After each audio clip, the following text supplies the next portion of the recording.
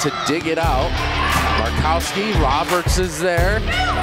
Now it's touched by Rettel. Hoffman still alive as it goes to the middle of the formation and Niagara will end it there. Jackie Schmitz, the junior, puts an end to that run and now history made by Jaycie Roberts.